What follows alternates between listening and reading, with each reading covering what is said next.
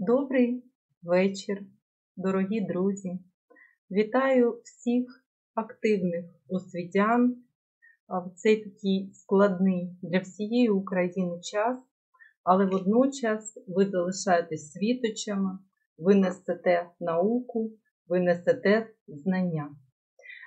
Дорогі друзі, сьогодні я хотіла б доторкнутися до важливої теми теми, яка стосується поведінки, яка відхиляється від е, середньостатистичних, від соціально-нормативних певних показників. Про неважану поведінку. Діти з інтелектуальними порушеннями дуже часто нам її демонструють. І якщо це системне, звичайне офлайн навчання, Вчитель має величезну кількість інструментів для того, щоб налагодити взаємодію, для того, щоб скоординувати увагу дитини, для того, щоб заспокоїти дитину. Але якщо ми говоримо про дистанційне навчання, то тут все ускладнюється в рази. І про те, яким чином нам скоординувати, скоригувати прояви небажаної поведінки, навіть краще сказати, як зробити профілактику цієї небажаної поведінки, ми будемо говорити сьогодні. Тому що загальмувати її набагато складніше, аніж зробити профілактику. Отже, вітаю вас, шановні друзі, колеги, дорогі українці, і сьогодні ми говоримо про тему профілактика небажаної поведінки дітей з інтелектуальними освітніми труднощами в умовах дистанційного навчання. І сьогодні е, цю зустріч з вами в межах конференції буду проводити я. Мене звуть е, Вікторія Коваленко.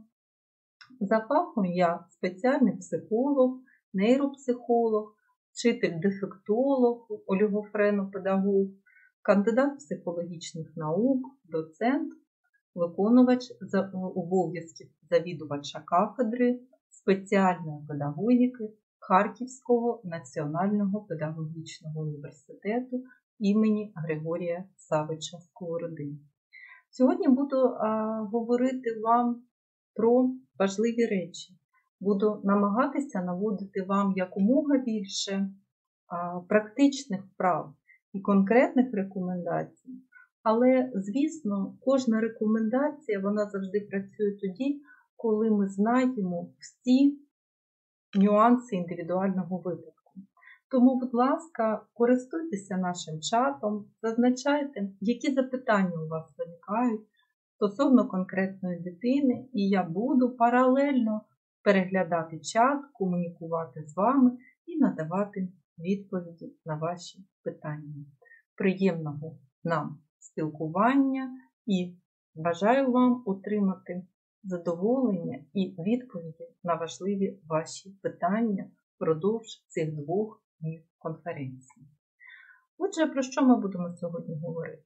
Перш за все, ми будемо говорити про те, що таке інтелектуальні освітні труднощі, тому що раніше були чіткі назви, і ми розуміємо, що дитина має то ті чи інші особливості психофізичного розвитку. Ми з вами, педагоги, називали їх відповідною назвою, іноді ці назви мали такий медичний характер, і сьогодні вважаються неетичним нам застосовувати такі терміни, як, ну, наприклад, діти-аутисти чи е, розумово відсталі діти. На сьогоднішній день ми відходимо від цих термінів і ми маємо говорити правильно. Але категорія інтелектуальних освітніх труднощів вона дуже широка. І ці інтелектуальні освітні труднощі вони можуть бути як тимчасовий характер мати, так і мати більш тривалі, стійкі, виразні вияви, які, на жаль, не можуть бути навіть повністю скориговані, тобто рівень інтелектуального розвитку деяких дітей, які мають інтелектуальні освітні труднощі, він ніколи не вийде на рівень нормального IQ або коефіцієнту інтелекту. І зі зниженим таким інтелектом дитина буде дорослішати, і е, тобто рівень IQ глобально не буде змінюватися. А є труднощі мінливі, а є труднощі інтелектуальні, коли дитини виникають, здебільшого вони при засвоєнні нових знань, і навичок. І про ці різновиди ми будемо сьогодні з вами говорити. Також ми розглянемо достатньо новий термін, який сьогодні в науці застосовується здебільшого для дітей з розладами аутистичного спектру, але поступово він є дотичним і до інших станів, і до інтелектуальних порушень також. Термін небажаної поведінки. І також ми поговоримо про те, які існують прийоми профілактики небажаної поведінки. Бо завжди якась поведінка вона має причинно-наслідковий зв'язок. Тобто вона виникає внаслідок якихось речей або обставин. І я не дарма е, в презентації обрала саме такий малюнок для того, щоб показати вам, що інтелектуальні освітні труднощі дуже часто виникають внаслідок органічного ураження головного мозку. І якщо уражені лобні частини, лобні долі головного мозку, то такої дитини і людини дорослої ми будемо бачити впродовж всього життя труднощі планування, організації і контролю за своєю діяльністю. Тобто ми з вами вже маємо розуміти, що в деяких випадках ці особливості вони не будуть повністю виправлені, але частково зглажені можуть бути завдяки нашим з вами корекційно-розвивальним впливам. Отже, давайте розглядати все поступово. Що ж таке інтелект? Фактично, інтелект це гнучкість. Можна дати синонім такий, як гнучкість. Це здатність людини застосовувати свої знання, вміння і навички, способи діяльності в різних нестандартних ситуаціях. І тут я дуже хочу, щоб ви розділили поняття розум і інтелект. Бо якщо говорити про досвід і статистику, ми знаємо, що статистика нам говорить про такі речі, що далеко назавжди дитина, яка навчалася на відмінно і закінчила школу, тобто ми бачимо оцінки відмінно, але вона недостатньо гарно складає ЗНО. Чому так стається? Тому що дитина потрапляє в нову для себе ситуацію і застосувати отой свій багаж знань і навичок в новій, нестандартній для себе ситуації вона не може. А як ми бачимо наступну ситуацію, коли дитина навпаки недостатньо якісно засвоює матеріал, але вона розуміє, як себе поводити в тій чи іншій ситуації. Вона може там попросити, дай списати це, коли говорю звичайне навчання, школа, тощо так, і не будучи готовою до уроку, водночас вона отримує також високу оцінку і гарно прилаштовується в житті, тому що вона звикла застосовувати навіть той менший обсяг знань і навичок, які у неї є, але в різних ситуаціях, як то кажуть, лавірувати. Так? Тобто вона може бути гнучковою. Таким чином, ми можемо сказати, що якщо розкласти цю структуру інтелекту на її складові частини, є передумови інтелекту. Тобто те, що фактично забезпечує нам всю інтелектуальну діяльність, це пам'ять, це увага, це сприймання. І відповідно, якщо ці передумови інтелекту у дитини порушені, у неї будуть інтелектуальні освітні труднощі. Можуть бути те, що ми називаємо власний інтелект. Це здатність до встановлення причинно-наслідкових зв'язків між подіями, так? і здатність робити умовисновки і певні узагальнення. Тобто це власний інтелект. І саме інвентар інтелекту це за допомогою чого фактично ми, можемо демонструвати наш інтелект. Це ті знання, вміння і навички, які ми оволодіваємо впродовж життя і, зокрема, навчання. І от залежно від того, на якомусь етапі інтелекту, на якомусь шарів інтелекту є паланка, тобто що недостатньо розвинене або працює, ми будемо говорити про різні прийоми корекційного впливу. Отже, подивіться, будь ласка, що ж таке інтелектуальні освітні труднощі? Я вам хочу сказати, що якщо ми будемо розглядати поняття інтелектуальні освітні труднощі, то ми можемо з вами сказати про таке, що вони можуть бути як окремим станом, тобто у дитини на перший план виходить саме наявність інтелектуальних освітніх труднощів, або ця категорія може супроводжувати інші стани. Наприклад, дитина може мати порушення опорно-рухового апарату, дитина може мати функціональні труднощі. І внаслідок того, що дитина перебуває в певному обмеженому середовищі, вона не може сама відкрити книгу, вона не може перегорнути сторінку, вона не може взяти ручку, вона не може здійснити координовані рухи, наприклад, на планшеті там вбити потрібну їй інформацію пошуковичеві, і ще додатково вона має порушення мовлення, вона проговорити так не може. Відповідно, оці прогалини в знаннях у неї можуть більше і більше і більше їх ставати, і тому у дитини виникають на фоні функціональних рухових освітніх труднощів додатково інтелектуальні. Але сьогодні ми не говоримо про цю групу дітей. Ми сьогодні будемо говорити саме про дітей, які мають інтелектуальні освітні труднощі різного ступеня прояву. Вони можуть бути поодинокі, і тоді фахівці інклюзивно-ресурсного центру вам говорять про те, що ця дитина вона має там, наприклад, порушення уваги, пам'яті, мислення, але вони є поодинокими і невиразними, і тому фактично ви маєте в школі тоді на таку дитину складати індивідуальну програму розвитку, але ані е, інклюзивний клас, ані супровід асистентом вчителя чи асистентом дитини тут не буде.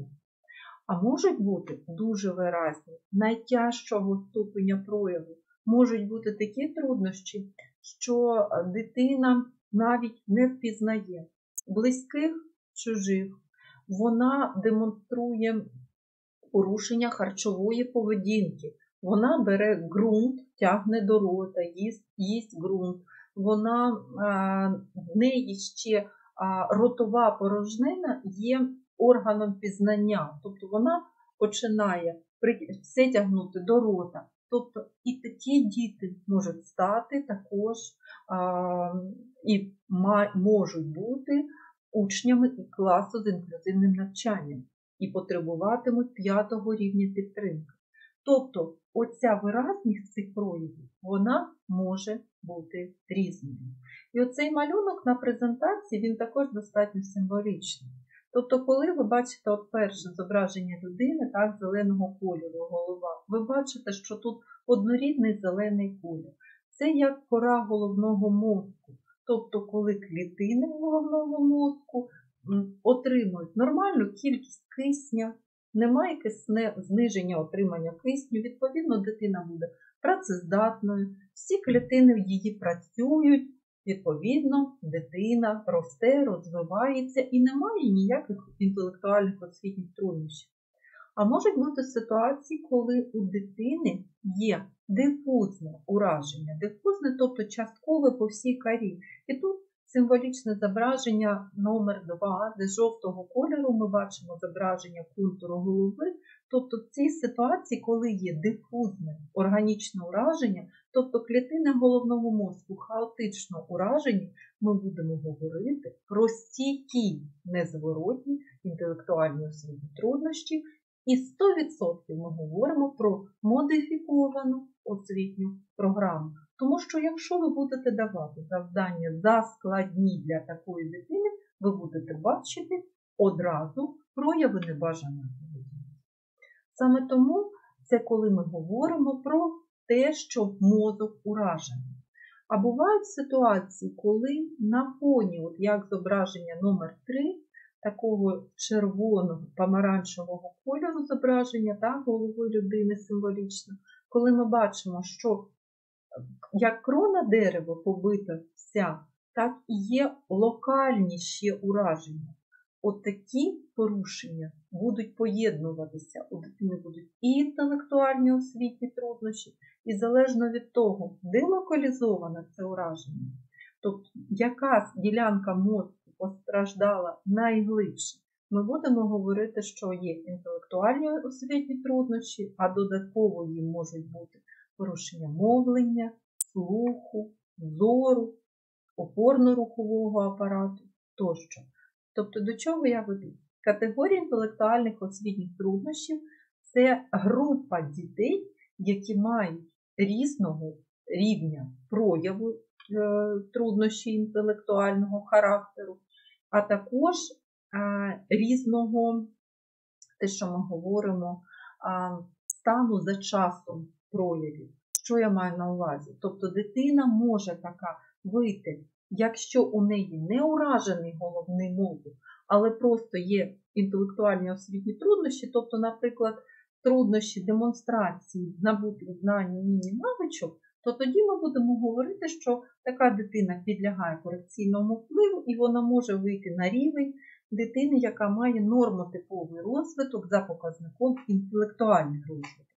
А якщо ж ми, як у другому і третьому випадку, бачимо ще ураження головного мозку, то таких прийомів педагогічних, які дозволять вам вивести дитину на рівень IQ, ну, не нижче, ніж там 86, ми, на жаль, говорити не зможемо.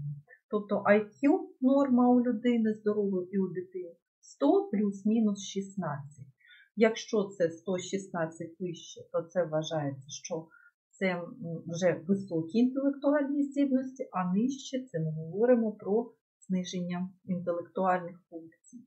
Отже, ми сьогодні будемо говорити з вами про групу дітей, у яких порушені і передумови інтелекту, тобто через травму головного мозку, через гіпоксію, через асфіксію, коли взагалі була нестача кисню, через різні інфекції, інтоксикації, яка, які дитина пережила у віці до 3 років, у неї був уражений головний мозок, і у неї, відповідно, уражені пам'ять, увага, мислення. Тобто перша цеглиночка цього дерева інтелектуального розвитку.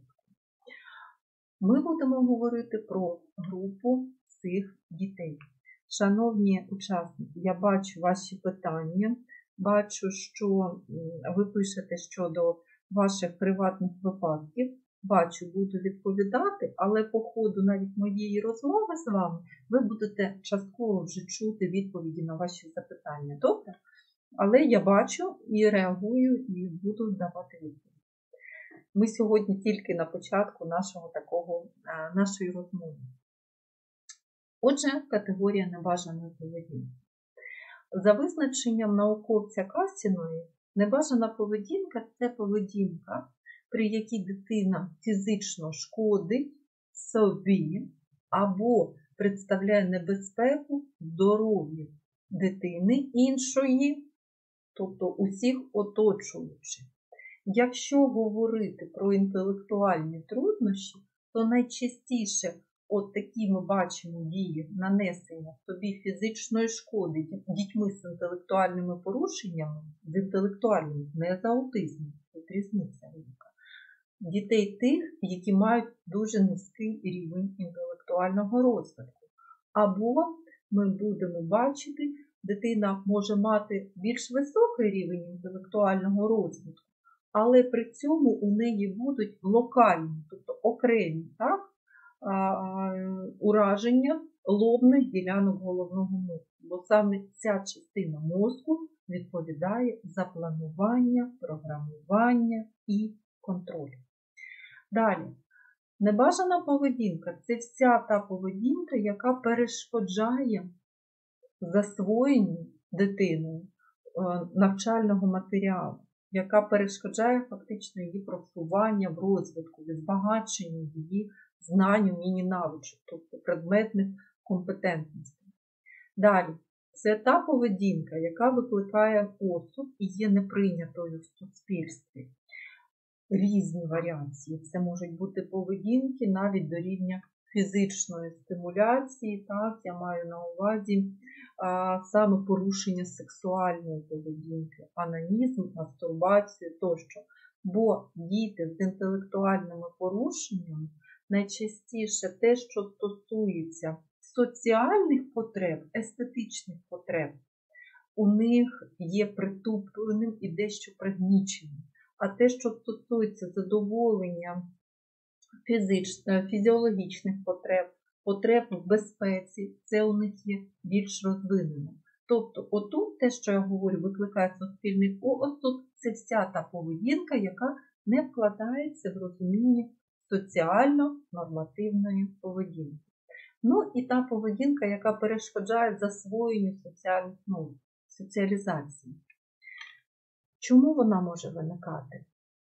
Я завжди говорю про те, що педагоги, як і лікарі, лікарі спочатку обстежують, а потім призначають лікування, так і педагоги і спеціальні психологи мають дати відповідь спочатку, чому дитина так себе поводить. І коли ми знімаємо цю причину, чому, якщо її можна зняти, то тоді поведінка гармонізується. Що у дітей є з інтелектуальними освітніми труднощами легкого, помірного, тяжкого ступеня?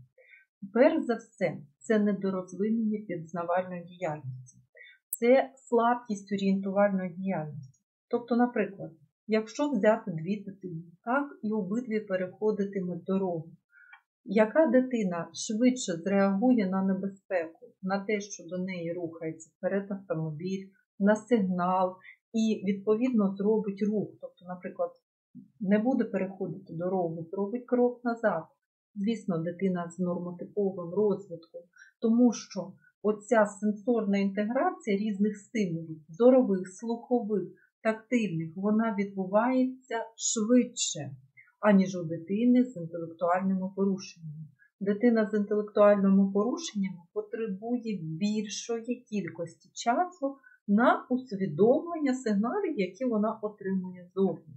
І відповідно, коли це урок дистанційно ми проводимо, ми маємо розуміти, що якщо ми ставимо запитання всім дітям в класі і очікуємо, що на нього, наприклад, буде давати відповідь конкретна дитина з інтелектуальними порушеннями, з інтелектуальними освітніми труднощами, то будьте впевнені, що діти з нормотиповим розвитком швидко піднімуть руки, а хтось навіть не витримає і викрикне відповідь. А дитина з інтелектуальними порушеннями не зможе надати відповідь, тому що час на сприймання, розуміння, відтворення відповіді у неї більш тривалий. Далі, повільний темп розвитку, звісно, він супроводжується особистісною незрілістю.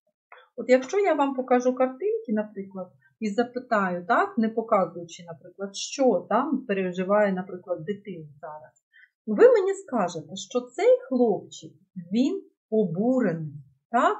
І ви можете сказати, що він переживає злість. Наприклад, якщо я вам покажу малюнок у цього хлопчика, да, і скажу, що переживає зараз хлопчик, ви мені можете сказати, що він наляканий, він переживає страх. А якщо я вам покажу, наприклад, іншу картинку, де е, дитина перебуває в такому стані, це прекрасний стан, називаємо стан, який дитина переживає е, при діяльності, якийсь те, інтелектуально захоплюючий так, стан, це певна замріяність, але конкретним об'єктом пізнання. І ви мені можете сказати оті емоційні напівтони, які ви бачите. дитина з інтелектуальними порушеннями не в змозі цих всіх напівтонів зрозуміти. Вона, е, діти з нормотиповим розвитком у 6 років, вони розуміють 6 базових емоцій: радість, гнів, сум, страх. Так? Також вони відчувають е, відразу, так? тобто щось фу, несмачне і таке інше. І вони розуміють, що таке презирство, тобто емоцію відносно вже людини соціальної.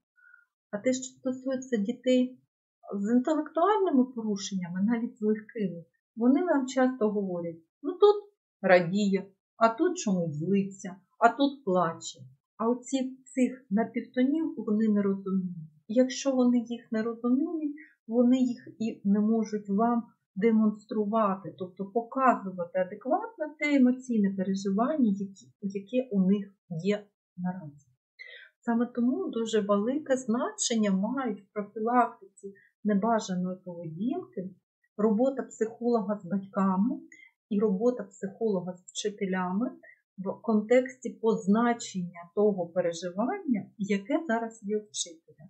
Наприклад, я розчарована і сумую, ви показали так, емоційно, ви назвали словом і ви сказали антицидент. Тобто, чому я зараз така?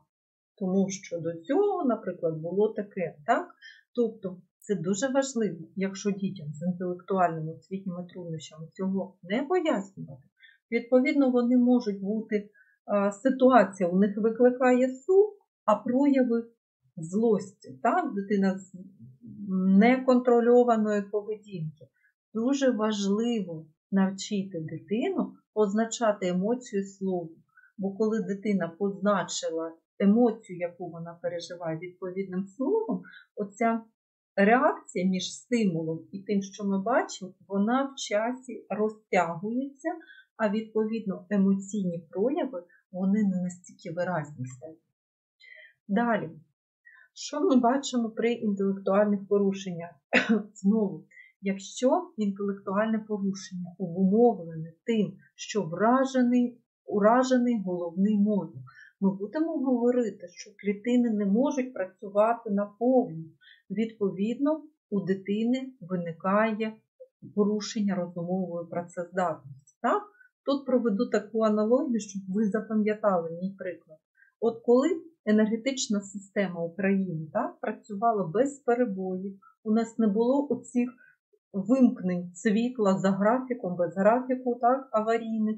Тобто все працювало без перебоїв, і ми навіть не звертали увагу на те, що наявність електроенергії так має бути. Тобто наявність живлення, е, електроживлення, ну, вона була. І навіть проведення дистанційних уроків для нас не було проблемою, тому що увімкнули комп'ютер, починаємо працювати, підготувалися. А тепер в ситуаціях, коли енергетично, тобто немає електроенергії, немає електричного живлення, і ми навіть з вами дистанційно не можемо працювати, тому що не працює енергетичне живлення. От коли проводимо паралель з мозком дитини, яка має знижений інтелект, ми можемо сказати, що приблизно відбувається таке. Енергетичний блок головного мозку це от ті субкортикальні структури, так, які розташовані, тобто, от, коли ми говоримо про субкортикальну формацію, інші структури головного мозку, мозочок, про так, довгастий мозок, коли вони не працюють, як мають працювати, вони не дають живлення всім іншим структурам мозку. І дитина не може сидіти і уважно слухати, або побачити картинку і на картинці одразу сказати, які ну, найважливіші деталі вона побачила, тому що не вистачає живлення. А тому дитина з інтелектуальними порушеннями, вона апріорі вже буде мати порушення уваги, пам'яті, мислення і далі, далі, далі. Тому, відповідно, ми не просто зараз з вами розглядаємо причини, бо ми розглядаємо причини, а далі я вам буду говорити про профілактику, як можна не дозволяти головному мозку швидко втомлюватися, як підвищити його працездатність. Далі, у багатьох дітей з інтелектуальними порушеннями переважають негативні емоції. У них є така здатність до тривожності. Причому от ми маємо розмежувати поняття тривога і тривожність. Так? М, Тривога, вона завжди ну, перед чимось. Я маю виступати, наприклад, на конференції, чи у мене відкритий урок. Відповідно, я тривожусь перед чимось. Так? Тобто є підстави для ситуативного мого переживання. А при тривожності інакше. Тобто ніби об'єктивних причин немає, але людина вже переживає занепокоєння. І занепокоєння, отже, певне збудження зі знаком мінус. Через особливу роботу головного мозку таких дітей ми будемо бачити, що тривожність є дуже часто супровідною їх рисою. А також нервове виснаження. Тобто, якщо перший у вас урок, другий урок проходить нормально, і при цьому у вас, наприклад, урок був математики, потім урок фізики, урок хімії, так, ви бачите, що дитина взагалі поводить себе, ну, вона розбалансована, вона емоційно нестабільна, так і буде, тому що нервове виснаження відбувається. І що я можу також вам сказати, що дуже важливо, коли ми бачимо інтелектуальні освітні труднощі помірного ступеня, модифікувати програму. Бо якщо дитина, уявіть собі, вона перебуває в класі і вона переживає хронічне переживання неуспішності, вона не знає, не розуміє, як зробити тощо. Це може підштовхнути, звісно, дитину до проявів порушень емоційної сфери. І ми з вами якраз про це будемо і говорити, про те, як це коригувати. Так, і е, перед тим, як я перейду до способів профілактики, звернусь вже до відповіді на запитання пані Юлії. А, бо воно, в принципі, воно і навколо теми, але водночас воно не дотичне до теми. Поясню чому. А, Юлія запитує про те, що дитина нормальна повна сім'я. Тобто ми фактично, я зрозумію підтекст, що в сім'ї є тато, є мама, які відповідно демонструють певні соціальні там, нормативи поведінки, жіночої, чоловічої. В принципі, сімейна атмосфера є сприятлива для розвитку дитини. Але в два роки хлопчик починає падати на підлогу, плаче, коли щось потребує, а йому не дозволяє, і так само веде себе в магазині. Я вам хочу сказати, це те, що здебільшого діти переживають, але ближче до трьох років. Це не є порушенням, це є певними, певною віковою кризою. Цей період, коли дитина починає проявляти маніпуляції відносно дорослих. Тобто, я зроблю так, як поведуть себе батьки. Я зроблю так, як поведуть себе батьки. І дитина, відповідно, з того, чи отримує дитина задоволення зараз від тих чи інших моделей поведінки, вона розуміє, як поводити себе далі. От дивіться, яка може бути ситуація, розіграємо її. Так, поведінка ну, не бажана так, для соціального середовища, але тут за вашим описом я не бачу в запиті, що тут є якісь інтелектуального характеру освітні труднощі. Це суто поведінкові труднощі. Що тут треба зробити? Якщо дитина щось вимагає, мама, перше, що треба зробити, переключити увагу. Якщо я думаю, що в два роки не вийде там одразу там щось показати, або йди до мене, або обійняти. Дитина буде відштовхувати, дитина буде кричати. Відповідно, має бути сенсорний подразник. Будь-який звук, яскравий колір. Якщо це не спрацювало, якесь доторкнення на рівні фізичного тіла. Прохолодне, тепле, слизьке, щось таке, щоб дитина одразу відреагувала, ніби прокинулась. Так? Тобто переключити увагу на щось інше, якщо ви не можете дати те, чого дитина бажає. Наприклад, вона в розетку, так, лізе, от вимагає, от їй потрібна розетка. Так? В два роки, щоб ви не пояснювали, воно працювати не буде. Але треба створити ситуацію, де підходите до розетки, рука в руці дитини, дотягаєтесь і різко даєте якусь вокалізацію свою, кажете, а, боляче, ні, не будемо, і переключаєте на щось гарне. До чого я веду? Якщо дитина раз в 2 роки, в 3 роки, а потім в 35 і в 48 зрозуміє, що істерикою вона може домогтися бажаного, це буде з року в рік виявлятися. Тому, якщо дитина поводить себе так в магазині, дуже часто мама думає, перед людьми соромно, що всі ж одразу звертають увагу, що дитина така, тому куплю їй те, що вона хоче, і все. Що відбувається? Хоча дома мама прийшла і сварить, каже: ну ну ну так не можна себе поводити. Що дитина відчуває? У неї був стимул, вона хотіла конкретну цукерку або щось там солодке. так? І мама, вона там, мама, дай, мама не дала. Вона тупнула ногою, мама не дала. А коли почала кричати і лягати на підлогу, мама точно дала те, що дитина забажала. Виявляється, стимул, поведінка моя така, угу, вона працює. Я ставлю собі галочку, в моделях поведінки я так буду себе поводити. Тому будь-яким чином робіть так, щоб дитина не отримала бажаного за небажану поведінку. Оце єдине правило, яке працює завжди і всюди. Тим паче, коли дитина, якщо дитина має розлад аутистичного спектру. Коли вона зрозуміла, що така поведінка працює, ви вже нічого не будете, не, не в змозі нічого робити. Так, далі. Давайте повертатися в нашу а, проблематику.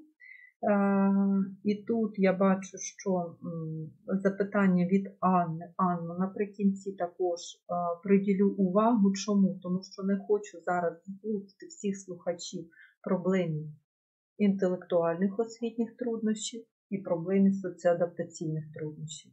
Бо тут ну, інша проблематика зовсім. Щоб не заплутати людей, проговоримо про це, наприкінці відповім на ваше запитання. Так,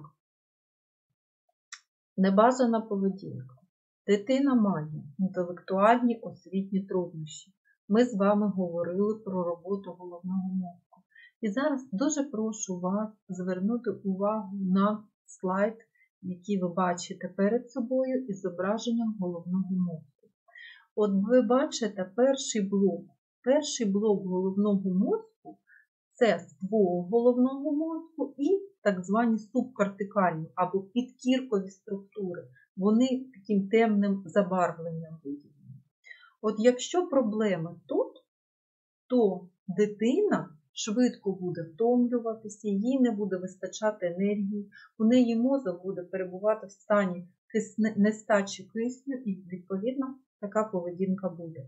Часто говорю на своїх вебінарах, часто говорю своїм маленьким клієнтам, їм батькам про те, що мобільний телефон тримає дитина в руках, тримає таким чином, голова нахилена. Відповідно, ми бачимо, що тут йде перетискання судин головного мозку. І, відповідно, судини не несуть ту необхідну кількість кисню, яка потрібна для нормальної роботи. Тому пам'ятайте, і система дистанційного навчання, коли дитина постійно працює з нахиленою головою, щось пише, обов'язково включати треба урок вправи для розвитку саме шийного відділу, шийних хребців, для того, щоб гармонізувати відтік крові, яка має низький рівень кисню, так, венозної крові і нормалізувати потік артеріальної крові. Отже, причина, якщо є травма структура, де ви бачите перший блок головного мозку, тобто немає енергетичного тонусу, відповідно, робота другого блоку головного мозку, який відповідає за а, увагу, зорове, слухове сприймання тощо, вона вже не буде здійснюватися. І третій блок це лобні долі, які відповідають за планування, контроль, програмування. Тут також будуть проблеми. Відповідно, як зробити так, щоб дитині енергії вистачало? Як зробити так, щоб вона могла працювати? Перше, режим дня. От знаєте, допоки, от при, пригадайте ієрархію потреб за Маслоу. Хто пригадає, напишіть, будь ласка, в чаті. Поки ви пригадуєте, я хочу вам сказати, що фактично базовими потребами людини це є задоволення фізіологічних потреб, а також потреб у безпеці. Тобто це те, що є базовим. Коли дитина не спить, коли дитин, у дитини порушений режим дня, відповідно, ми будемо говорити, що така дитина буде втомлена. Якщо ми прослідкуємо біоритми організму, то я вам хочу сказати, що якщо дитина лягає з 10, о 22 години і спить до першої години ночі, цей час мозок максимально відпочиває. А навіть якщо дитина і доросла людина ляже о першій годині ночі і проспить до 10 години, вона все одно буде переживати більшу втому, аніж якби вона лягла раніше. Чому? Тому що так працює наш організм. Тому що коли вже тим сутеніє, у нас виділяється гормон, який відповідає гормон сну. Коли ми лягаємо спати, і зараз, от така проста порада батькам, проговоріть про це, шановні колеги, на батьківських зборах, коли дитина лягає спати, намагайтеся відкривати, от вона вже лягла, так? Відкривати штори для того, щоб перші промені сонця заходили в кімнату, і дитині, у дитини виробляється інший гормон, який відповідає за активність. Саме тому оця проста порада, але вона дозволяє дитині прокинутися легше і прокинутися раніше. Тобто, перша рекомендація режим дня. Дякую, пані Марія, дійсно ви праві. Дотримуйтесь режиму дня, дотримуйтесь рухової активності. Все те, що дитина з інтелектуальними освітніми труднощами не реалізовує в русі, вона реалізовує потім в імпульсивній, небажаній, гіперактивній поведінці.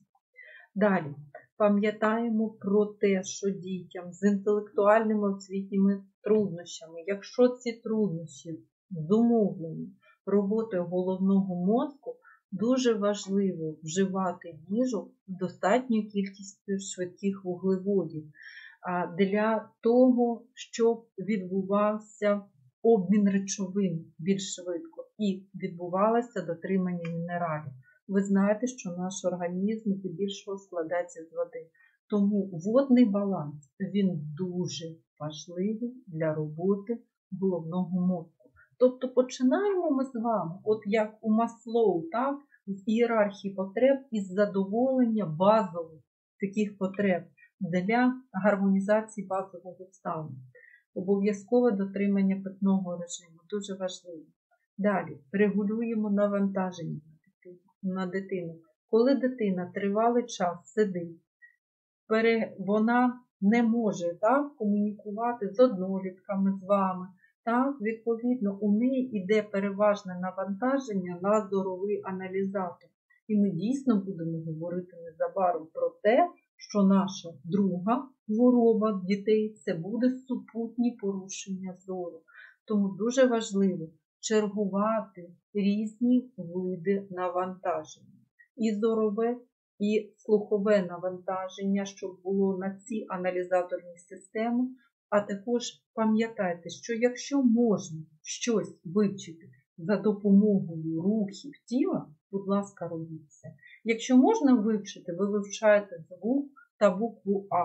Попросіть дитину встати, наприклад, і скласти долоньки так, щоб це була буква А. Тобто задіюйте рухову сферу. Дуже важливо. Обов'язково активні ігрові методи навчання. Дуже важливо знайти середовище, де дитина зможе відображати все те, в чому, вона успішна. Тобто, якщо це вже порада для батьків, якщо ми знаємо, що, наприклад, дитина з інтелектуальними освітніми труднощами, вона при цьому має, може достатньо тривалий час виконувати певну монотонну роботу, а так їй буде доцільно відвідувати різні гуртки художньо-естетичного профілю, коли вона буде в'язати або займатися керамікою, тощо таким чином буде і витривалість у неї розвиватися. Тобто, окрім того, що на уроці застосовувати все ж таки прийоми, коли дитина має відповідати не лише видали тест, а вона там наклацала відповіді, так?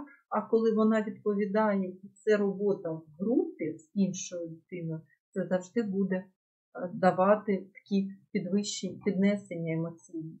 І а, я нещодавно ознайомилася зі статтею канадських вчених про те, що і дуже цікаве поняття, вони ввели поняття як спіраль емоційного благополуччя.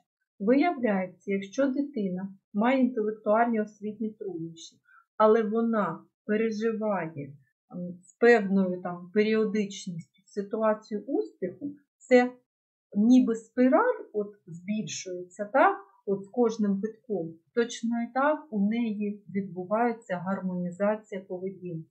Тому, якщо дитина не є успішною в шкільній діяльності, треба знайти батькам ресурс, де вона може бути успішною. Тобто, це може бути, наприклад, дитина з синдромом Дауна може через гіперрухливість е, суглобів може відвідувати гуртки фізкультурно-спортивного профілю, так? тобто, де вона оцю рухову активність і свою емотивність, і свою а, е, любов до музики, до ритмічних рухів вона буде реалізовувати. Коли ви знайдете такий канал для такої дитини, тоді ви будете бачити, як поведінка гармонізується. І завжди я говорю, От я побачила запитання про дитину, якій 15 років. Якщо дитина має нормальний інтелект, але це пубертатний період, так?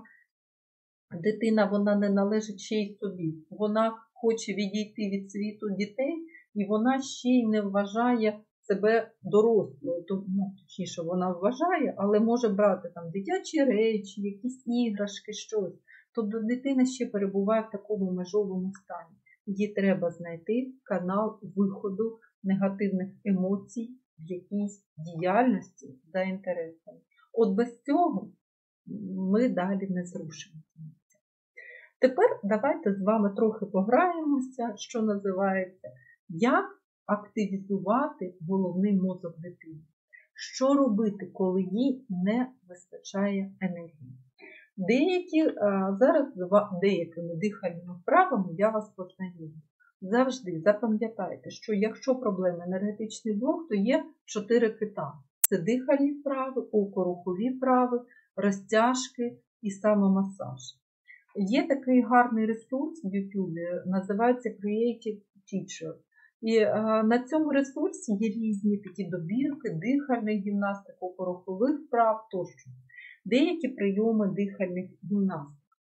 Завжди вдих має бути через низ. При цьому видих через а, рот, але дуже важливо дихати правильно, те, про що я говорю. Якщо ви не впевнені, що ви дихаєте правильно, і не впевнені, що правильно навчите цю дитину, застосовуйте долонь, долоньку свою як спосіб контролю. Долоньку на живіт вдихаємо носом.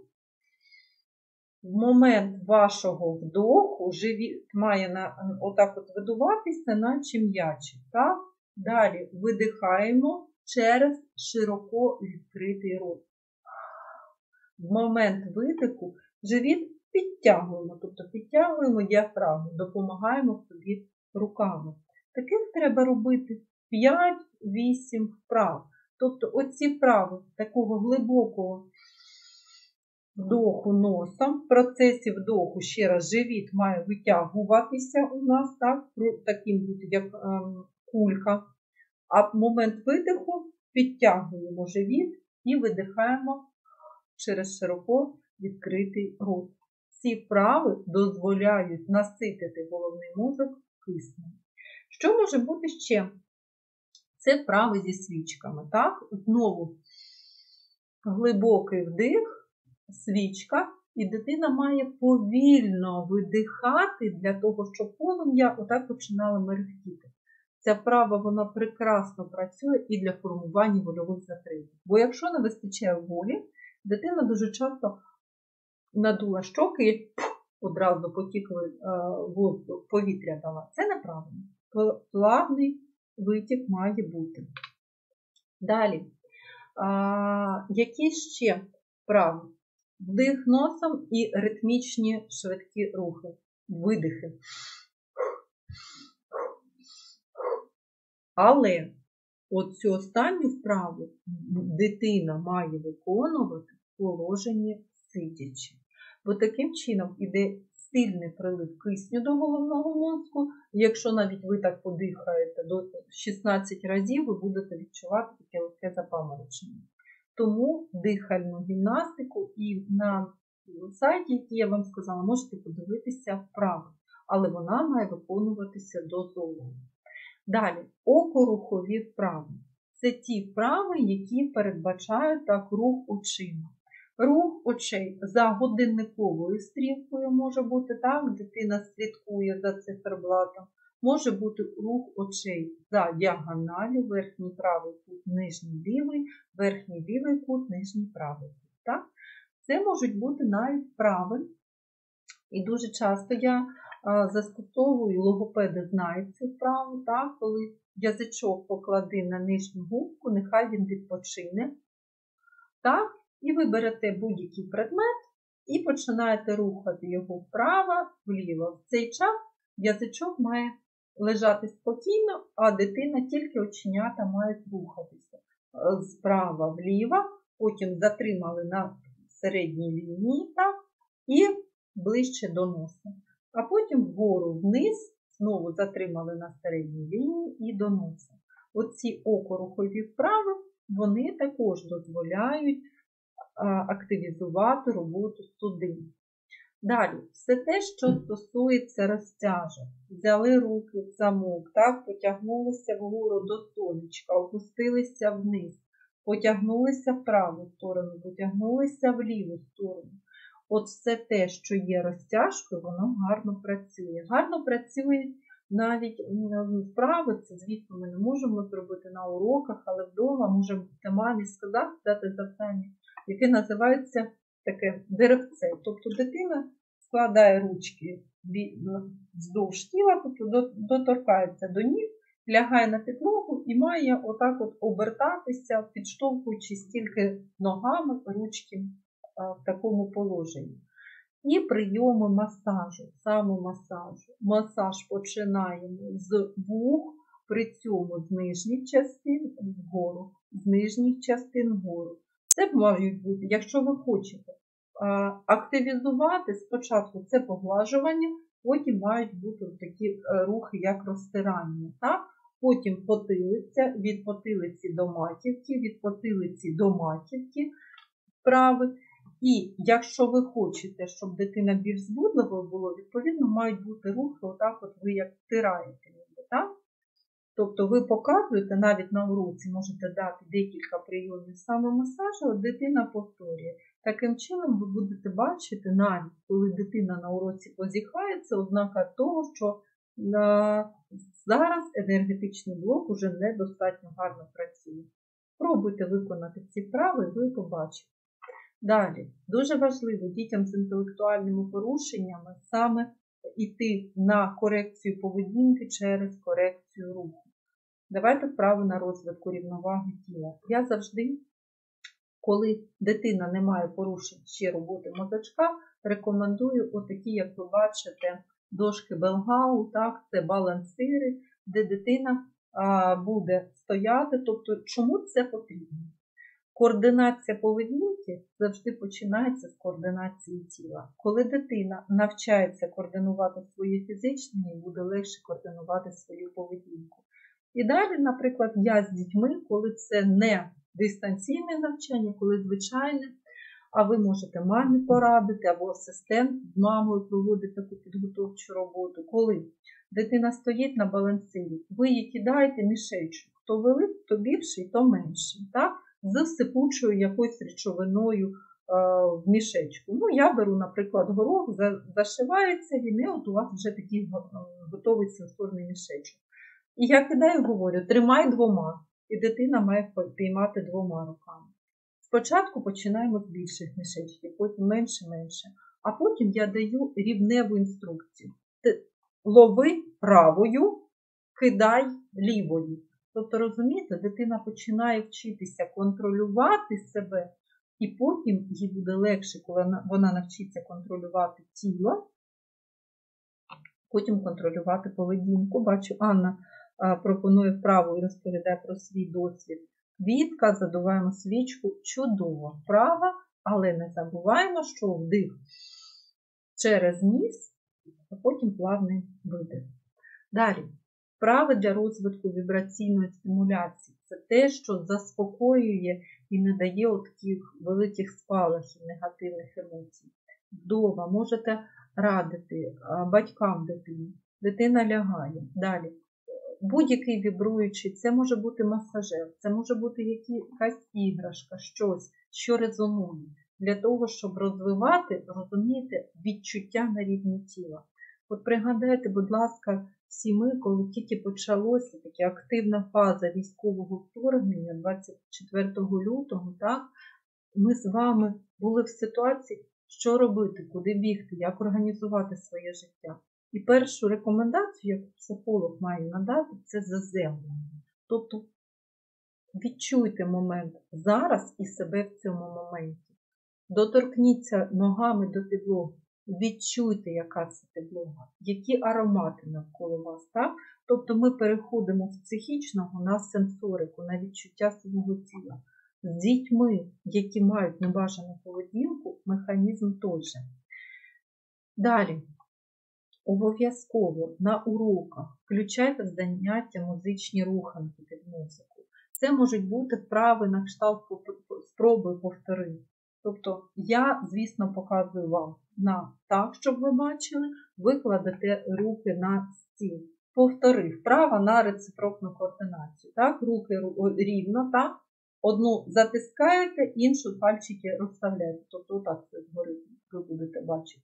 І змінюєте.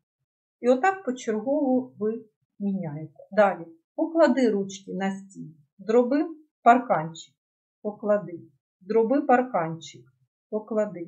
Ті вправи, які кулак, так, ребро, долоня, кулак, ребро, долоня.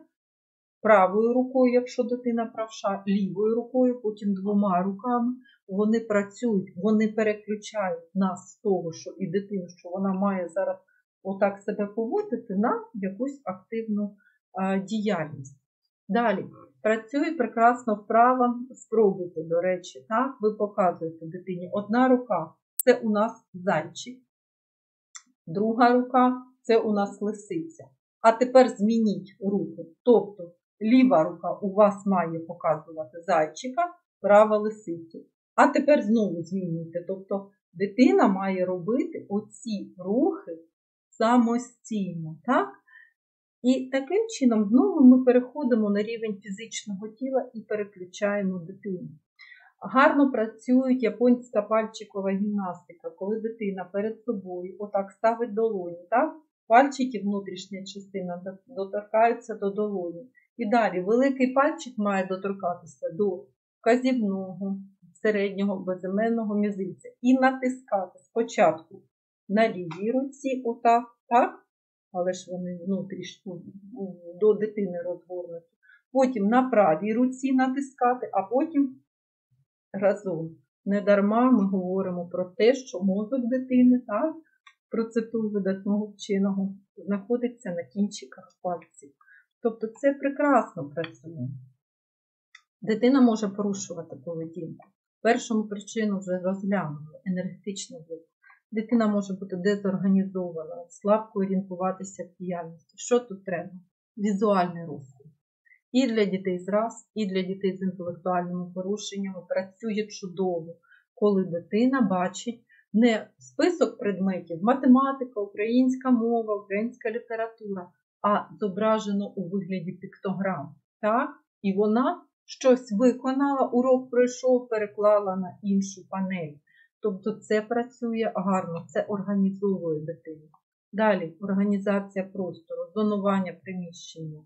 Дайте рекомендації батькам, що місце для навчання це місце для навчання. Там не можна давати бутерброд, бо дитина не встигла поснідати. Там не можна там давати борщ, вимкнути камеру, бо дитина їсти хоче. Навчальна зона для навчальної, ігрова зона для ігрової діяльності. Зона тиші також має бути. Тобто, щоб дитина призвичаїлася, що тут вона може в зоні творчості так себе поводити, а тут виключно тихо сидіти. Тобто зонування кожної частини, і це організовує дитину.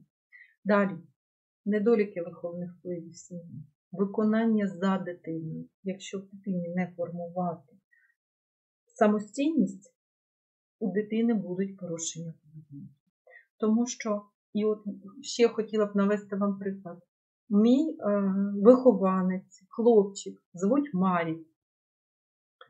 Мама говорить, поведінка неконтрольована тощо. Коли ми починаємо розкручувати цей клубок, я бачу, а які фільми ви переглядаєте? А мама дозволяє з дитиною переглядати американські серіали, де активно транслюються акти агресії, лайливі слова тощо. Але при цьому каже, ти ж так не можеш говорити. Або мама сама дозволяє собі ненормативну лексику. Дитина буде це повторювати. Коли у мене марк на занятті, у нас є чіткий розклад, у нас є чітке розуміння того, що ми працюємо з тобою стільки часу, потім стільки часу перерва, потім так ми працюємо. Або правило пісочного годинника. Поки пісок висипається, ми з тобою робимо все. Після того у тебе, у мене декілька пісочних годинників, коли я змінюю, ти маєш робити тоді, дозволяю тобі одну хвилину займатися чимось іншим. Тому що дуже часто небажана поведінка дитини це недолік виховного впливу сім'ї. Інша, Інший хлопчик, до речі, також Марк звуть, але першому 10 років, а другому 3 рочки. Мама каже: я не розумію, чому він у, хлопчика дві няні, він не має інтелектуальних знижень, але мама каже: я не знаю, чому він так себе поводить агресивно, імпульсивно тощо. Особливо це на прогулянці, коли йдемо на прогулянку. Що я бачила, почала спостерігати? Живе сім'я в приватному будинку. Одна няня дозволяє влітку хлопчикові вибігати без шкарпеток, от просто бігти по галявині біля подвір'я. І дитина так звикла, що це нормально. І дитина починає знімати знову шкарпетки, коли вони, наприклад, в місті були на дитячому майданчику тощо. І в три роки, коли приходить до цієї ж дитини інша няня, яка не дозволяє цього всього робити, то поведінка Марка стала взагалі не керованою на прогулянці. Він кричить, він лягає на підлогу, він б'ється головою тощо. Тому дуже важливо зрозуміти, дуже часто причина є в батьках. Чи може бути там якісь проблеми? Ну і звісно, те, що ми говорили з вами, коли дитина демонструє таку поведінку через невідповідність виховного впливу, який дитина переживає, так, тобто не заговорилась, перепрошую, на час відволіклася. Коли дитині в школі є навантаження таке, що не посильне для дитини, але ви бачите висновок інклюзивно-ресурсного центру, так? і для для вас він є, ну, скажімо так, ключовим для того, щоб побудувати процес, а ви починаєте навчати дитину за адаптованою програмою, не модифікованою поведінку небажану ви будете бачити завжди. Тому що коли дитина тривалий час перебуває в ситуації, коли від неї вимагають те, що дитина не змозі виконати, ми будемо це бачити. А також диференційований підхід і підготовка вчителя до уроку. Чому це так важливо і небажана поведінка? Я прошу вас зараз поглянути на цей слайд, і от цей, цей текст ми можемо дати дітям, наприклад, які навчаються в третьому класі. От дитина читає текст про песика. Ох, вже поталанили Олешкові з, Оле... з Олельком. Їхній тато коло млина приблудного песика знайшов. Так? І далі йде текст, іде, іде, іде, іде, іде текст. А потім ми починаємо задавати питання по тексту. Аж як переживає цей текст дитина з інтелектуальними порушеннями? От він читає Ох же, це зрозуміло, поталонило. Це як поталонило. Тобто слово випускаємо і виходить у усвідомленні дитини. Ох же Олешкові з Олельком. Їхній тато коло млина песика знайшов. Хто такий приблудний? Хто такий кумедний? Хто такий клаповухий? Розумієте, що виявляється? Дитина з інтелектуальними порушеннями має читати цей текст, але в ньому є дуже багато незрозумілих слів. Відповідно, оцей логічний ланцюжок дитина втрачає. Далі, порядок слів у багатьох реченнях зворотній. От тут я хотіла б відкоментувати. Я послухала доповідь переді мною, так, була доповідач, і вона сказала таку цікаву фразу, що короткі фрази, короткі речення. Зрозумілі. От якщо у вас дитина з інтелектуальними порушеннями, знайте, що коли зворотний порядок слів у реченнях, дитина з інтелектуальними порушеннями його не зрозуміє. Зміст того, що ви хотіли сказати, буде незрозумілий. Незрозумілий зміст, ви ставите запитання дитини, дитина не відповідає раз, два, три, чотири. Відповідно, виникає емоційна реакція, негативна. І вона зрозуміла. Якщо ми з вами також будемо в тих умовах, де від нас будуть щось вимагати, ми про це взагалі нічого не знаємо, ми також будемо обурюватися. Просто ми зможемо контролювати і трошечки себе осаджувати, так? а потім прийдемо додому і будемо. А чому ми кашляємо? А тому що ми не проговорили всіх тих негативних емоцій, які ми переживаємо. Так? То дитина з інтелектуальними порушеннями кихикати не буде, бо вона вам виплесне весь діапазон негативу. Тому пам'ятаємо про доступність. Речення мають бути повними. І зверніть увагу на міжпорядковий інтервал. Коли дитина має інтелектуальні освітні труднощі, при які, які зумовлені органічним ураженням головного мозку, дитина у неї звужене сприймання. Тобто, от якщо б ми з вами отак от перебували і отак от закрили, так, з двох сторін, ми б не бачили, що праворуч від нас, що ліворуч від нас. От порушення бінокулярного зору і сприймання те, що те, що написано, воно властиве цим дітям. І коли ми порушуємо ці міжпорядкові інтервали, дитина не зможе засвоювати. Тому, якщо підводити підсумки, будь ласка, я вас підводжу зараз до того, що ви мені можете поставити вже запитання, я буду на них відповідати. Я вам хочу, ну, коли підводжу підсумок про те все, що я говорила, треба оцінювати, якщо у дитини небажана поведінка, декілька складових. Перше, що з біологією, що з тілом, що? Чи задоволені фізіологічні потреби. Далі, друге, пам'ятати про велику виснажуваність, відповідно, давати ті прийоми, які дозволять робити нам профілактику оцієї виснажуваності, дихальні, окорухові вправи, розтяжки і самомасаж. Коли дитина, ми бачимо, що буде спала, переводьте реакцію з поведінки на реакцію тіла. І оті всі вправи, які стосуються контролю і координації, вони гарно будуть працювати. Ви проводите урок дистанційно, бачите, що дитина починає розгойдуватися, кричати тощо. До того, поки вона кричить, дайте отаку якусь справу на контроль, на натискання, так? Кільце, пальч, е, коли пальчики так стискаємо кільце, дайте таку вправу. А коли ви бачите, що вона, тобто до, до поведінки, якщо ви бачите, що будуть зараз впливи, дайте це. Якщо це вже відбувається, дайте дитині можливість потрапити в зону усамітнення.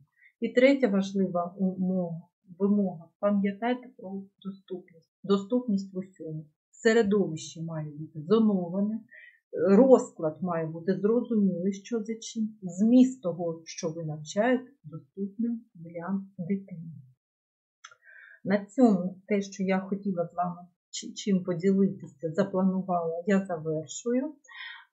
І зараз переглядаю вас з чат.